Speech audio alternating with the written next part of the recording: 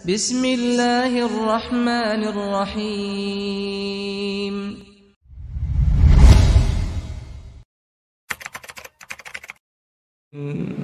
akhwati fillah a'azani Allah wa iyyakum para hadirin wal hadirat jamaah salat maghrib yang dirahmati dan dimuliakan oleh Allah Subhanahu wa taala Alhamdulillah Alhamdulillahi bi ni'matihi tatimmu salihat Segala puji hanya bagi Allah yang dengan nikmat-nikmatnya tertunai segala amal-amal kebajikan Salawat dan salam Semoga tercurah limpahkan kepada Muhammad sallallahu alaihi wasallam kepada keluarga dan para sahabat meniti jalannya sampai hari kiamat. Ikhwani fid wa akhwati fillah, a'azani Allah wa iyyakum. Kita bersyukur kepada Allah Subhanahu wa taala atas segala limpahan nikmat yang sangat banyak yang Allah berikan kepada kita. Dan saya bersyukur kepada Allah Subhanahu wa taala bisa kembali hadir di tempat ini walaupun tidaklah kami di sini kecuali hanya sekedar kalau boleh dikatakan sedikit memberi motivasi atau berbagi ilmu. Wa illa di tengah-tengah antum ada asatidah yang lebih alim daripada kami ada Ustaz Abu Ismail Umar hafizahullah taala ada Ustaz Abdul Hasan Tamrin hafizahullah ada juga Ustaz Abdul Khalik hafizahullah. Namun dalam rangka mengamalkan hadisnya Nabi sallallahu alaihi wasallam dalam hadis yang diriwayatkan oleh Imam Muslim dari sahabat Abu Hurairah radhiyallahu taala anhu Rasulullah bersabda hakul muslim alal muslim situn hak seorang muslim atas muslim yang lainnya ada enam. Salah satunya kata Nabi wa idastansahaka fansahlahu apabila dia minta nasihat kepada kamu maka berilah nasihat kepadanya. Maka ala kulli saya sangat berbahagia bisa berjumpa kembali bisa bertatap muka kembali kepada ikhwanuna sekalian. Ini suatu kegembiraan dan kenikmatan yang semata dari Allah Subhanahu wa taala. Kita bermohon semoga pertemuan kita di malam hari ini dijadikan sebagai pertemuan yang penuh dengan persaudaraan pertemuan yang dipenuhi dengan kebaikan rahmat dan keberkahan. Sebagaimana saya memohon kepada Allah Subhanahu wa taala sebagaimana yang telah mengumpulkan kita di tempat yang mulia ini. Semoga kelak mengumpulkan kita di dalam surganya yang penuh dengan kenikmatan. Amin ya rabbal alamin. Ikhwani fiddin wa akhwati fillah a'azani Allah wa iyyakum. Semua dari kita tentu menginginkan yang namanya kebahagiaan. Tidak ada seorang pun dari kita kecuali pasti mau bahagia. Oleh karena itu manusia untuk bisa menggapai kebahagiaan itu berbagai macam cara mereka tempuh. Sesuai dengan persepsi mereka masing-masing mengartikan apa itu kebahagiaan. Sebagian memandang bahagia itu manakala bisa mengumpulkan harta sebanyak-banyaknya. Sehingga ia pun berupaya untuk bisa mengumpulkan pundi-pundi harta yang melimpah ruah. Karena dia memandang itulah kebahagiaan. Sebagian lain ada yang memandang bahwa bahagia itu kapan kita bisa keliling dunia katanya traveling ke mana-mana. Sehingga dia pun mengupayakan itu. Bagaimana bisa keliling dunia. Karena dia pandang itulah kebahagiaan. Ada juga yang beranggapan bahagia itu adalah dengan pangkat dan kedudukan. Maka dia akan kejar itu. Apa pun resikonya dia akan tempuh. Karena dia berpandangan bahwa kapan sudah tinggi kedudukan kita maka itulah kebahagiaan. Para jamaah yang dirahmati dan dimuliakan oleh Allah tentu kita sebagai seorang muslim berpandangan bahwa kebahagiaan tidak lain dan tidak bukan kecuali manakala kita bisa hidup berbahagia di kehidupan ketika kita berjumpa dengan Allah Subhanahu wa taala. Iya. Kehidupan yang bahagia itu manakala kita bisa masuk ke dalam surganya yang penuh dengan yang penuh dengan kenikmatan. Itulah kebahagiaan yang hakiki. Itulah kebahagiaan yang Allah Subhanahu wa taala sebutkan di dalam Al-Qur'an, "Faman zuhziha 'anil nar wa udkhilal jannah faqad faz." Wa mal hayatud dunya illa mataul ghurur. Barang siapa yang diselamatkan dari api neraka dan dimasukkan ke dalam surga, maka dialah orang yang paling beruntung. Dan tidaklah kehidupan dunia ini melainkan hanya kesenangan yang memperdayakan. Dan Allah Subhanahu wa taala juga menyatakan man amila salihan min dzakarin aw untha wa huwa mu'minun falanuhyiyannahu hayatan thayyibah wa lanajziyannahum ajrahum bi ahsani ma kanu ya'malun.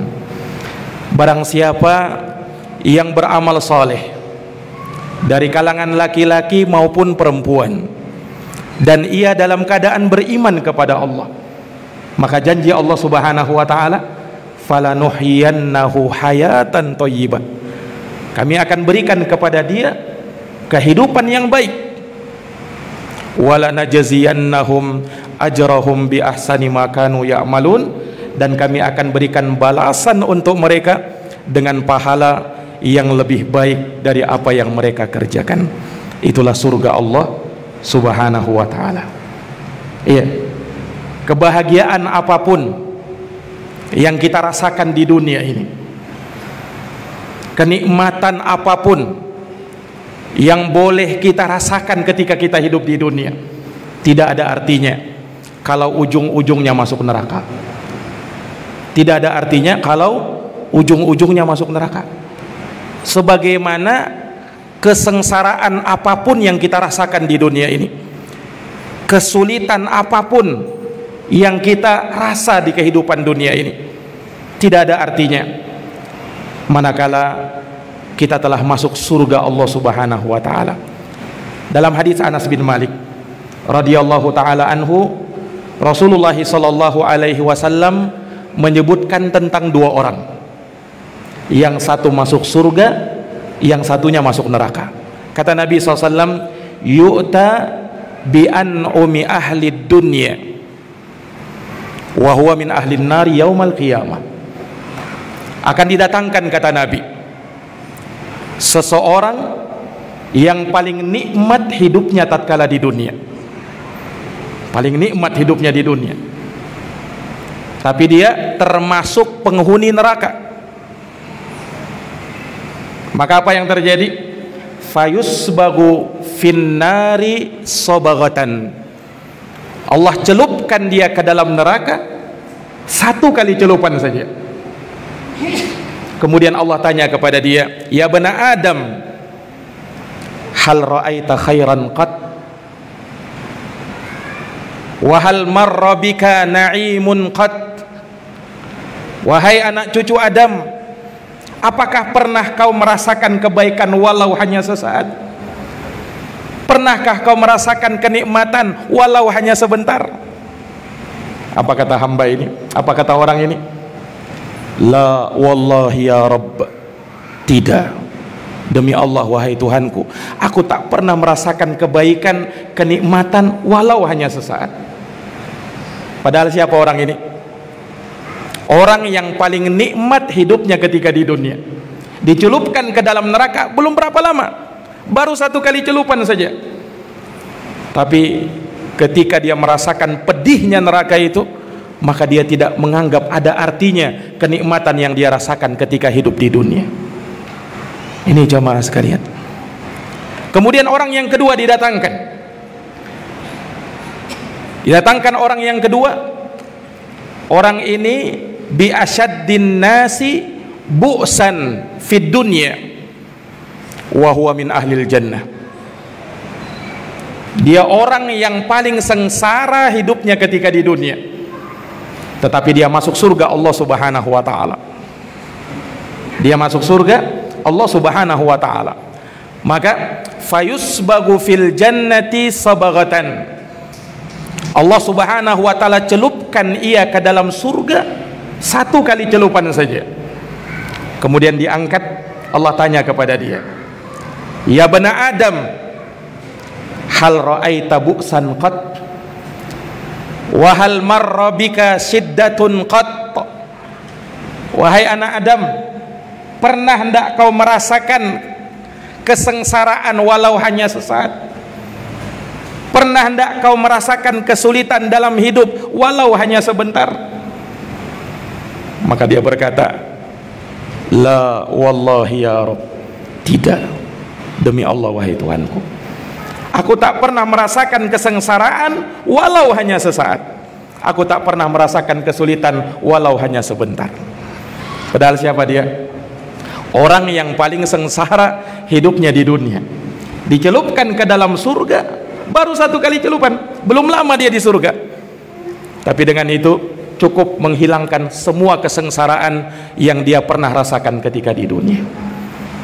Inilah kebahagiaan yang hakiki inilah kebahagiaan yang sesungguhnya manakala seseorang selamat dari api neraka kemudian dimasukkan ke dalam surga Allah subhanahu wa ta'ala para jamaah yang dirahmati dan dimuliakan oleh Allah disebutkan dalam hadis yang sahih Nabi Musa alaihi salam pernah berbincang-bincang dengan Allah Subhanahu wa taala Rabbul alamin. Nabi Musa tanya kepada Allah, "Ya Rabbi, man adana ahlil jannati manzilatan yaumal qiyamah?" Wahai Tuhanku, siapa orang yang paling rendah derajatnya di dalam surga pertanyaan Nabi Musa siapa orang yang paling rendah derajatnya di dalam surga maka Allah subhanahu wa ta'ala berfirman huwa rajulun yaji'u ba'da ma dakhala ahlul jannatil jannata. Orang yang paling rendah derajatnya di surga adalah seseorang yang dia datang setelah semua penghuni surga masuk ke dalam surga. Nah, dia yang terakhir. Dia yang terakhir masuk surga. Kenapa dia yang terakhir karena sebelum dia masuk surga dia mampir dulu ke neraka. Dicuci dulu dosanya di dalam neraka. Tapi karena dia beriman dia masih muslim maka Allah subhanahu wa ta'ala keluarkan dia dari neraka. Dimasukkan ke dalam surga. Ini paling rendah derajatnya. Maka ketika dia sudah berada di depan pintu surga Allah berfirman kepada hamba ini ya bena Adam udkhulil jannah. Wahai anak cucu Adam silahkan kau masuk ke dalam surga. Dipersilahkan masuk surga. Maka orang ini dia belum belum lantas bertanya kepada Allah Subhanahu wa taala, "Ai Rabbi, kaifa nasu manazilahum wa akhadu akhadatihim?" Wahai Tuhanku, bagaimana kiranya aku masuk surga? Manusia sudah mengambil tempatnya masing-masing dan ia telah mengambil bagiannya masing-masing. Dikiranya surga sudah penuh tidak ada tempat bagi dia maka Allah Subhanahu wa taala berfirman kepadanya atardha ayyakuna laka mislu malakin min mulukid dunya apakah engkau ridha? Apabila aku berikan kepada engkau kenikmatan sama seperti yang dirasakan oleh raja dari raja-raja yang ada di dunia. Mau tidak kenikmatan seperti itu? Kata Allah subhanahu wa ta'ala. Maka orang ini langsung mengatakan roditu ya Rob aku ridho wahai Tuhanku Aku ingin kenikmatan seperti itu. Maka Allah berfirman kepada dia, "Lakadzalika wa misluhu wa misluhu wa misluhu wa misluhu wa misluhu." Bagimu yang seperti itu, kemudian yang seperti itu, yang seperti itu, yang seperti itu, yang seperti itu, dan yang seperti itu. Artinya, dia mendapatkan kenikmatan sama seperti raja yang ada di dunia dikali lima kali lipat lagi. Allahu Akbar. Kemudian dia mengatakan raditu ya Rob aku sudah ridho wahai Tuhanku. Maka Allah berfirman kepada dia lakadzalika wa asyratu amthaliha. Bagimu yang seperti itu ditambah 10 kali lipat lagi. Berarti berapa? 50 kali lipat seperti raja di dunia ditambah 50 kali lipat lagi ini siapa ini? Siapa orang ini? Yang paling rendah derajatnya di dalam surga.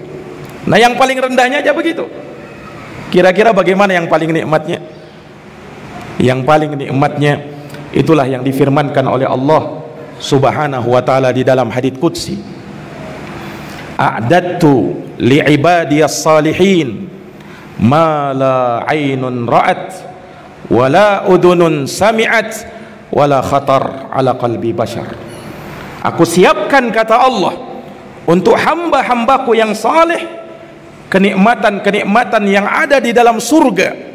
Tak pernah terlihat oleh mata tak pernah terdengar oleh telinga dan tak pernah terbersit dalam hati manusia.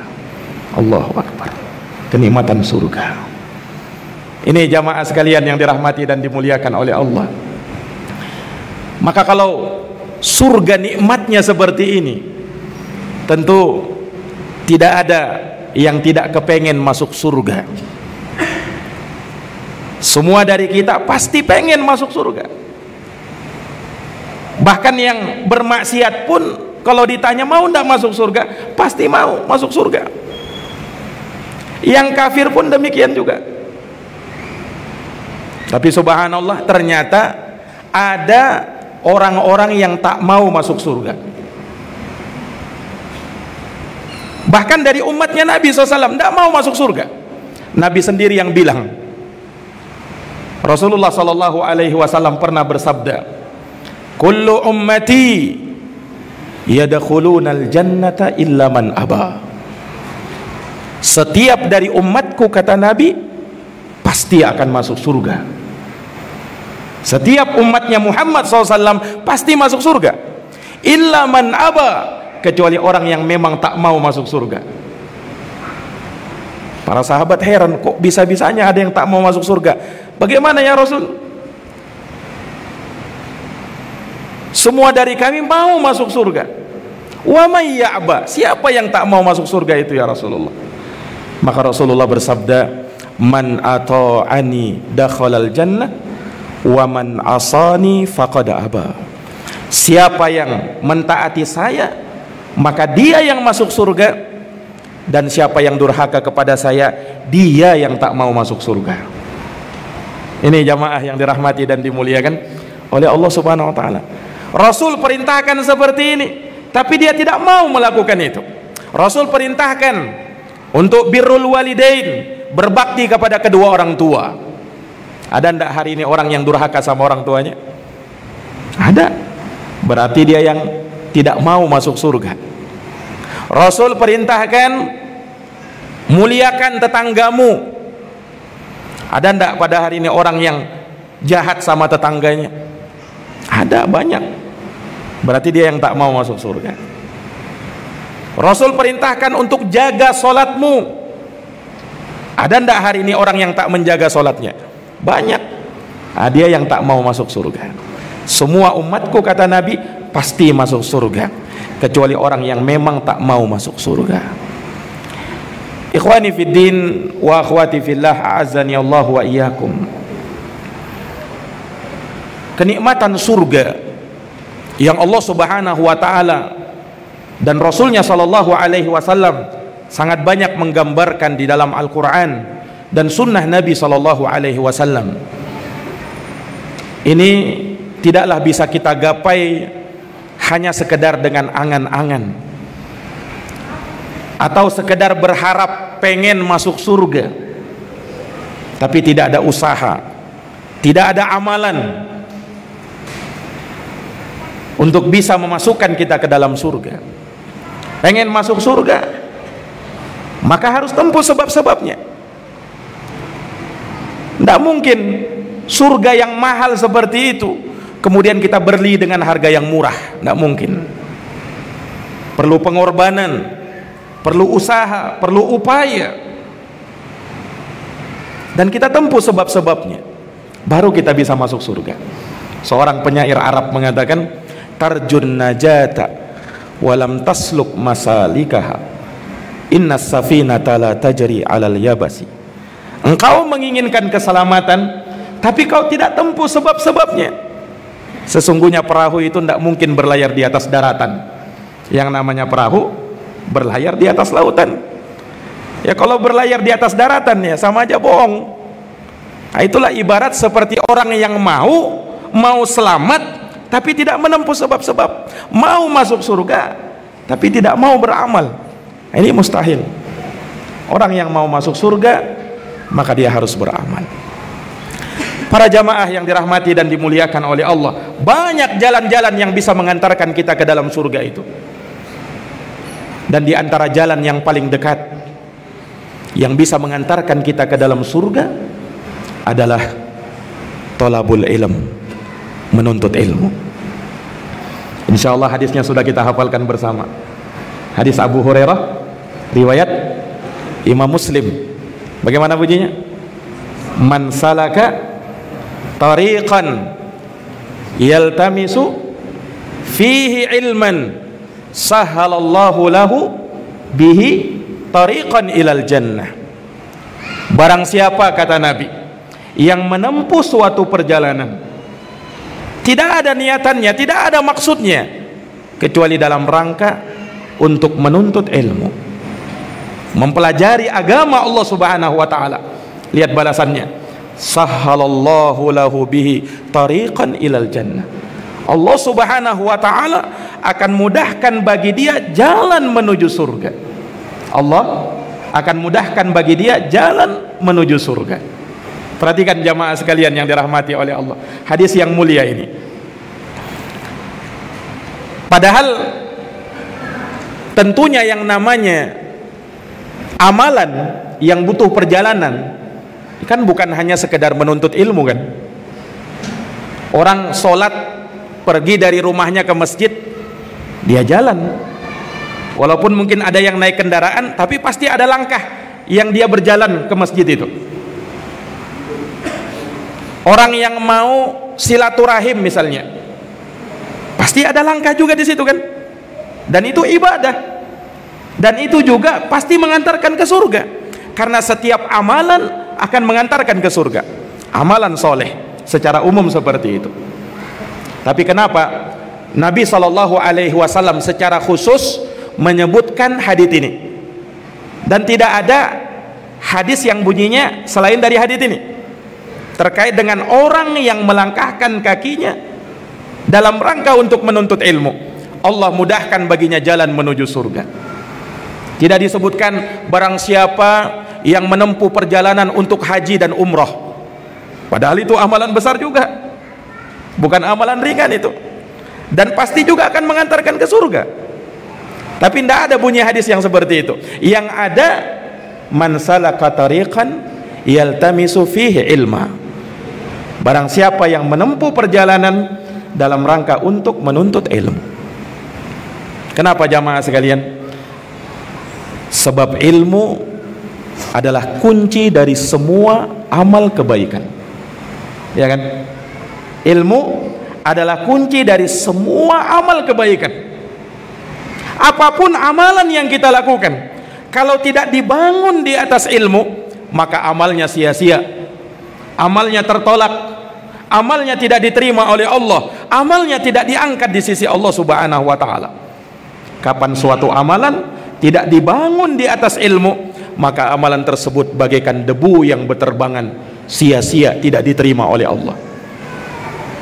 Jadi ilmu ini syarat. Mutlak diterimanya suatu amalan. Kalau kita beramal tidak dibangun di atas ilmu yang benar maka amal tersebut pasti akan tertolak. Man amila amalan laisa alaihi amruna fahuwa raddun. Barang siapa yang beramal suatu amalan yang tidak dibangun di atas perintah kami tidak dibangun di atas ilmu maka amal tersebut pasti tertolak kata Nabi. Ini para jamaah sekalian. Jadi ilmu itu kunci dari semua amal kebaikan. Apa pun amal kebaikan harus dasarnya karena ilmu makanya masyur dari ucapan para ulama kita al ilmu qoblal qawli wal amal. Berilmu dulu baru berucap dan beramal. Ini para jamaah yang dirahmati dan dimuliakan oleh Allah. Jadi mau amal kita diterima oleh Allah subhanahu wa ta'ala maka landasi dia dasari dia dengan ilmu agama terlebih di akhir zaman seperti ini jamaah sekalian. Di akhir zaman seperti ini para ulama mengatakan bahwasanya jihad yang paling utama di akhir zaman seperti ini adalah tolabul ilmi menuntut ilmu. Ya mempelajari agama Allah subhanahu wa ta'ala. Orang yang duduk di majelis ilmu menghadiri majelis ilmu maka teman duduknya tidak akan pernah merugi dia akan mendapatkan ketenangan dia akan mendapatkan rahmat dinaungi oleh malaikat disebut namanya di hadapan para malaikat Allah Subhanahu wa taala di majelis yang paling mulia itu. Ini para jamaah yang dirahmati dan dimuliakan oleh Allah.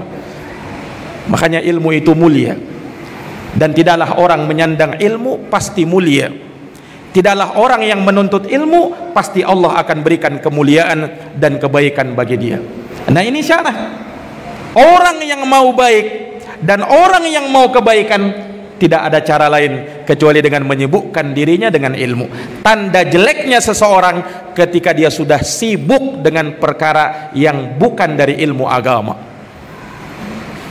Rasulullah sallallahu alaihi wasallam bersabda dalam hadis Muawiyah radhiyallahu an yang diriwayatkan oleh Imam Al-Bukhari may yuridillahu bihi khairan yufaqihu fid barang siapa yang Allah subhanahu wa ta'ala inginkan kebaikan pada dirinya maka Allah pahamkan ia dalam urusan agama.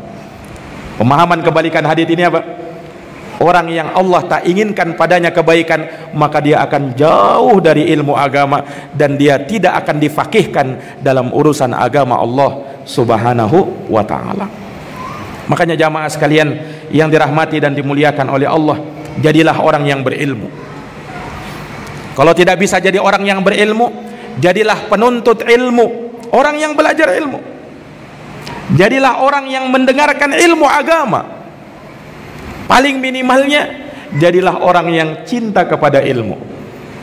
Itu ucapan sahabat Abdullah bin Mas'ud radhiyallahu taala anhu diriwayatkan beliau pernah berkata kun aliman au muta'alliman au mustami'an au muhibban lil khair wala takun khamisa. Kata beliau jadilah kau seorang alim orang yang berilmu. Tak mampu jadilah orang yang belajar ilmu agama. Mau menuntut ilmu mau menghadiri majelis ilmu tak bisa juga. Jadilah orang yang setia mendengarkan majelis-majelis ilmu. Beda itu penuntut ilmu dengan orang yang menjadi pendengar setia. Semangatnya beda. Kalau penuntut ilmu itu sungguh-sungguh dia. Nah perhatiannya luar biasa. Ada orang yang dia memang suka dengar majelis ilmu. Kesungguhannya beda dengan orang yang kedua. Tapi masih baik masih baik. Kenapa? Dia suka mendengarkan majelis ilmu. Atau kalau tidak juga muhibban lil ilm. Orang yang cinta kepada ilmu. Ini minimalnya ini. Wala takun khamisa. Jangan jadi orang yang kelima. Orang yang kelima bukan orang alim. Tidak mau belajar. Tidak mau mendengarkan majelis ilmu. Tidak cinta lagi kepada ilmu. Nah itu orang kelima itu. Nah nah ini para jamaah yang dirahmati dan dimuliakan oleh Allah subhanahu wa ta'ala.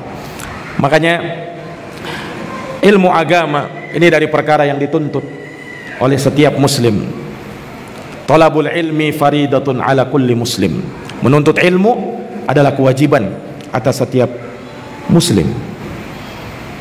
Jadi menuntut ilmu itu wajib. Artinya apa? Kalau tidak menuntut ilmu hukumnya apa? Berdosa karena menuntut ilmu itu wajib. Orang yang tidak menuntut ilmu berdosa. Tolabul ilmi faridatun ala kulli muslim. Menuntut ilmu kata Nabi itu wajib atas setiap muslim. Nah nah menuntut ilmu ini banyak yang perlu kita pelajari. Tapi sumber ilmu itu ada pada Al-Quran dan sunnah Nabi Sallallahu Alaihi Wasallam. Itu sumbernya ilmu ya kan? Kita mau pembahasan apa saja? Mau mengkaji akidah mau mengkaji fikih mau mengkaji adab mau mengkaji sirah. Kembalinya ke mana Quran hadis Nabi Sallallahu Alaihi Wasallam. Makanya dari ilmu yang termulia manakala kita pelajari Quran tafsirnya Quran makna Quran itu. Kemudian pelajari hadith-hadithnya Nabi Sallallahu Alaihi Wasallam penjelasannya syarahnya dari kalangan para ulama. Nah ini para jamaah yang dirahmati dan dimuliakan oleh Allah. Makanya dulu bahkan ulama terdahulu mereka tidak mengitlakkan seorang penuntut ilmu itu kecuali orang yang mencari hadisnya Nabi SAW jadi kalau dikatakan tolabul hadis penuntut hadis maksudnya penuntut ilmu di masa itu. Karena memang orang di masa itu kerjanya mencari hadis Nabi dapat hadis Nabi dihafalkan. Sebagiannya mereka tulis. Kemudian mereka ajarkan lagi kepada orang lain. Seperti itu. Belum ada ketika itu apa namanya ilmu cabang ilmu ya pembahasan-pembahasan ilmu usul fikih misalnya ilmu kawaid fikhiyah misalnya. Belum ada ketika itu. Yang ada itu ya Quran hadis Quran hadis. Nah, untuk memudahkan ilmu itu tersampaikan barulah para ulama membagi ilmu-ilmu itu. Ada pembahasan akidahnya ada pembahasan fikihnya ada pembahasan adab dan akhlaknya ada pembahasan sirahnya. Tapi ingat semuanya kembali kepada Quran semuanya kembali kepada hadis Nabi sallallahu alaihi wasallam. Para jamaah yang dirahmati dan dimuliakan oleh Allah. Nah pada pertemuan kita di malam hari ini dan seterusnya insyaallah taala pada jadwal yang telah ditetapkan kita akan mengkaji dan mempelajari hadith-hadith Rasulullah sallallahu alaihi wasallam yang termuat dalam kitab yang kita semua mengenalnya. Dan bahkan mungkin sudah ada yang menghafalkannya. Kitab Al-Arba'in An-Nawawiyah. Yang dikarang oleh Al-Hafidh An-Nawawi rahimahullahu taala. Hanya sebelum kita mengkaji tentang kitab Arba'in itu insyaallah taala akan kita bahas secara tuntas. Semoga Allah subhanahu wa ta'ala berikan kekuatan kepada kita supaya bisa menyelesaikan kajian hadis Arba'in mulai dari hadis pertama sampai hadis yang terakhir. Tapi sebelum itu ada beberapa pendahuluan yang perlu kita pahami. Nah yang kita pelajari ini kan hadis Nabi. Jam berapa Isa? sudah Isa? Insya Allah. Azan taib uh, kita lanjut pada Isya berarti ya? Insya Allah ya. Nah pada Isya 45 menit Pak ya? Tadi mana Abdurrahman tadi. 45 menit ya insyaallah. Nah insyaallah taala eh, ba'dal isya kita akan lanjutkan lagi ya. Eh, beberapa mukaddimah yang perlu kita pahami sebelum kita masuk pembahasan kitab hadis arba'in an-nawawiyah. Nah naktafi bihadzal qadar. Jazakumullahu khaira katsira. Kita tutup dengan doa kafaratul majlis. Subhanakallahumma wa bihamdika asyhadu an la ilaha illa anta astaghfiruka wa atubu ilaik. Wassalamu alaikum warahmatullahi wabarakatuh